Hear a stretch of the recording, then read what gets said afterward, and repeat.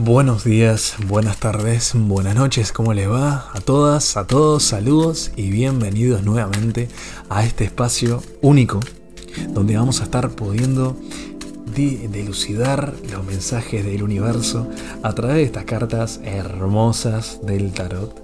¿sí? Vamos a poder visualizar el mensaje que nos quiere dar el universo a través de explorar las energías que rodean el amor, el trabajo y la salud en tu vida. Vamos a utilizar estas cartas que vamos a sacar en unos pequeños instantes para brindarte una guía personalizada y llena, llena, llena de significado para vos. Así que una vez batidas estas cartas, vamos a comenzar con el amor. Sí, vamos a continuar después con el trabajo y por último nos vamos a adentrar en la salud. Muy bien.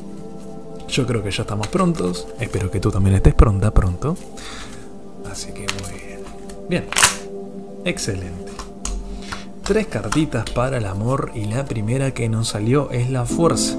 La carta de la fuerza es una carta que nos habla de la importancia del coraje. Una carta que nos habla de la fortaleza en el amor.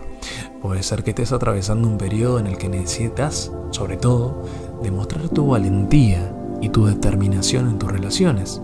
Mi consejo para vos es que te conectes con tu fuerza interior, establezcas límites saludables y te enfrentes a los desafíos emocionales con confianza y sobre todo también con compasión. La segunda carta que nos sale es la sota de espadas invertida.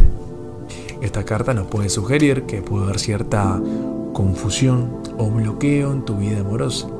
Es una carta que nos dice que puede ser que te encontrás luchando con pensamientos negativos o inseguridades que te están impidiendo expresar tus emociones de una manera abierta y sincera. Mi consejo para ti es que trabajes sobre todo en el autoconocimiento y busques forma de liderarte de los patrones que sean autodestructivos. Permitite ser vulnerable, permitite comunicarte con claridad en tus relaciones. La tercera carta que nos sale es el 4 de espadas viejito. Esta carta nos habla de la necesidad de tomarte un tiempo de descanso, un tiempo de reflexión en el amor. Puede ser que estés pasando por un periodo de tranquilidad, un periodo de autocuidado emocional. Así que mi consejo para vos es que te permitas relajar y poder sanar cualquier herida emocional. Utiliza este tiempo para meditar, para poder conectarte contigo misma, contigo mismo y establecer una base sólida para tus relaciones futuras. Vamos a enfocarnos en el trabajo. ¿Qué pasó? Nos están saliendo puras espadas en el día de hoy. Atento a los que están todo el día con el celular, con dispositivos electrónicos. ¿eh? La carta de la espada es el palo de la espada, es una carta muy tecnológica. El 9 de espadas es una carta que nos indica que puedes estar experimentando preocupaciones. Puedes estar experimentando preocupaciones en tu entorno laboral. Puede ser que te encontrás sintiéndote abrumada, abrumado o atrapado en pensamientos negativos relacionados con tu trabajo. Mi consejo para vos es que te des permiso para liberar tus miedos, tus preocupaciones y buscar formas de abordarlos, sobre todo y por favor de manera saludable. Busca el apoyo de colegas o de un mentor para encontrar soluciones y liberar tus preocupaciones. La segunda carta es el 10 de espadas, la armadura. La vemos acá la armadura, viendo cómo nuestra armadura está totalmente malherida. La segunda carta es el 10 de espadas, la que nos habla de un posible final, de un cierre en tu trabajo actual. Puede ser que estés enfrentando situaciones de estrés, de agotamiento en tu carrera. Así que mi consejo para vos es que te permitas dejar atrás. Dejar atrás eso que ya no te sirve, como ya lo vemos acá gráficamente en el dibujo de la carta. Deja atrás eso que no te sirve y busca nuevas oportunidades laborales. ¿sí? Esto no quiere decir, siempre se los digo, que dejemos atrás el trabajo, que nos vayamos a vivir a, Norma, a, Noruega ¿sí? y busquemos un trabajo para levantar cebollas allá. No, buscar nuevas oportunidades laborales significa tratar de expandirnos a nosotros mismos, significa ver de que somos capaces y tratar de adoptar nuestro trabajo, nuestra manera de obtener esos ingresos a lo que nosotros sabemos que podemos hacer. Así que utiliza este momento de transición para poder reflexionar sobre tus metas, reflexiona sobre tus aspiraciones laborales y establece un nuevo rumbo. Sí, un nuevo rumbo te vendría muy bien. La tercera carta laboral es la suma sacerdotisa. Esta carta nos sugiere que es importante confiar en tu intuición y en tu sabiduría interior en el ámbito laboral.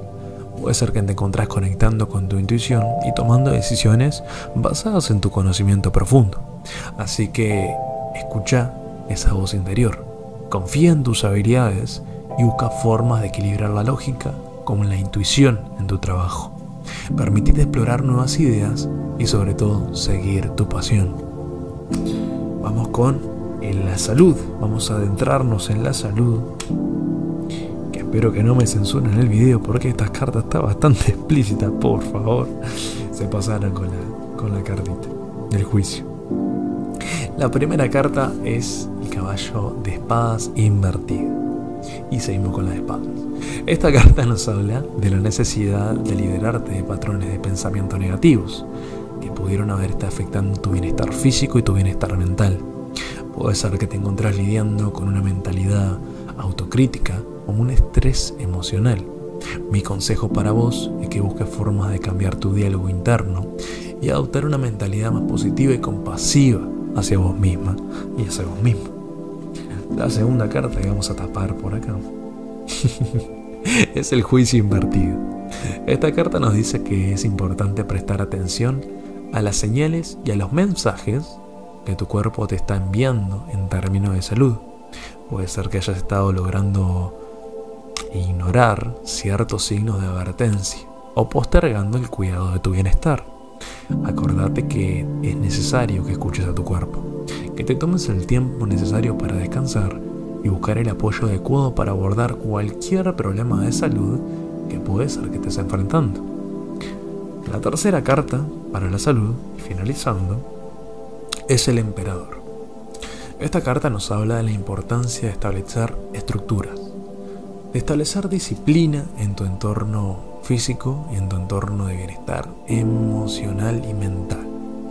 Puede ser que necesitas encontrar un equilibrio entre el cuidado de tu salud y la gestión de tus responsabilidades diarias. Mi consejo para vos es que enfoques tu en establecer hábitos saludables, con una rutina de ejercicio regular y una alimentación balanceada.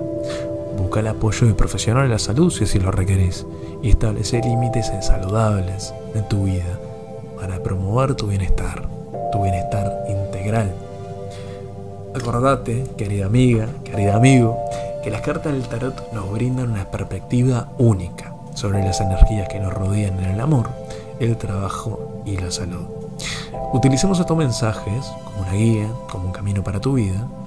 Confía sobre todo también en tu intuición. Busca el equilibrio y el autocuidado.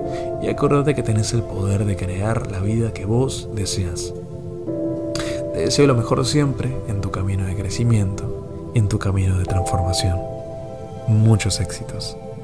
Te agradezco el haberme escuchado y espero que la tirada de cartas que acabas de escuchar sea de utilidad para vos y para tu vida. Agradecería también que te suscribas y si te gustó el video le des like y lo compartas. Soy Germán Rodríguez, nos estaremos hablando mañana, así que bendita o bendito seas.